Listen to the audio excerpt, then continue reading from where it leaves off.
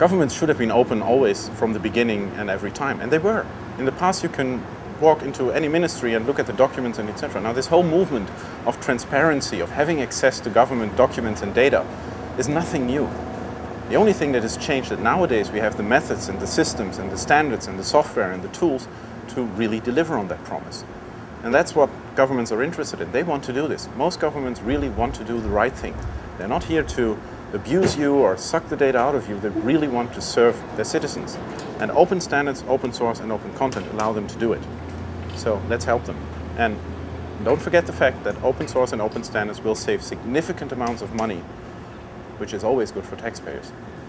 It started when we had the software patent discussion in Europe. This opened a floodgate of discussions on openness, transparency, and etc. The Dutch government made it a national policy. And Frank Heemskerk, who is uh, the minister in the uh, Ministry of, of Economics, he said we need to convert the Dutch government, all public institutions, etc., to the three big O's open source, open standard, open content. And he codified this in law. So Dutch public agencies of whatever kind, cities, ministries, whatever, they are forced to use open standards for data exchange. They can use proprietary software to generate it, that's not the problem. But it must be in an open standard. Now the core reason for using open standards, like ODF, the Open Document Format, PDF, um, HTML, JPEG, etc., the core argument is data sustainability. They generate a lot of data nowadays. They have lots of computers, lots of storage, and etc., and they have a lot of stuff in there. And they're slowly but surely seeing the fact that they've locked up their data in proprietary containers. So they're asking the question, what is the best service we can give to our citizen? And the best service to give to the citizen is to open up the data with open standards, make it wherever possible open content that everyone can use because taxpayers paid for it.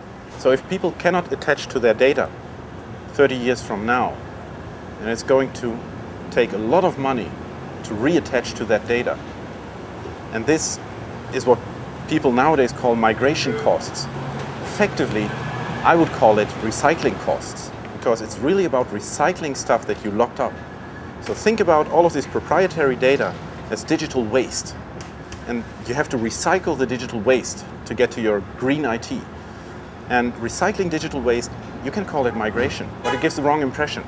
Effectively, it's about connecting to the data that you already own and make it accessible to other instruments, programs, people, etc. And this concept, if you look at it that way, then the migration costs that are typically accounted for the new solution effectively are exit costs from your old system.